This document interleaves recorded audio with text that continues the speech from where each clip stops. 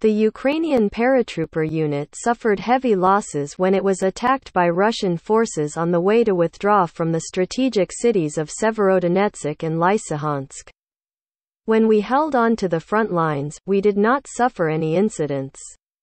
Only when we withdrew were we ambushed, said the commander of the Ukrainian paratrooper unit. After crossing the retreat under the lanes, bombs of Russian forces, they received orders to march to a new defensive position on June 26, withdrawing from Severodonetsk and Lysychansk. Two cities known as the umbrella of fire of Russian artillery, after weeks of fierce fighting. A day earlier, the mayor of Severodonetsk announced that the Russian army had taken full control of the city, including the Azot chemical plant. Lysychansk the last major city in Lugansk province still controlled by Ukrainian government troops, is in danger of falling when Russian forces and separatist militias have broken through the southern line and advanced into the central area.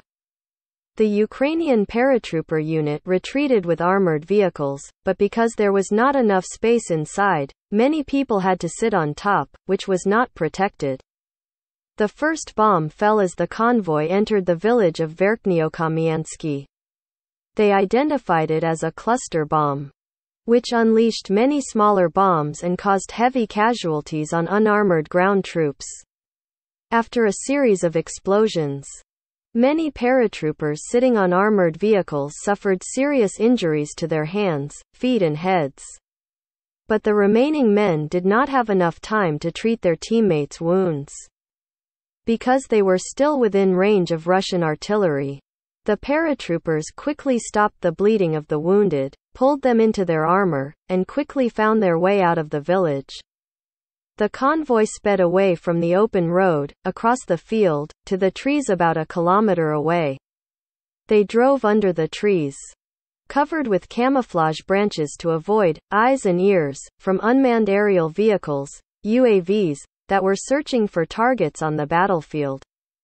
The uninjured soldiers began to treat their comrades, but could only use simple first aid tools, as they had long since cut off their supply lines from the forward stockpile of medical equipment.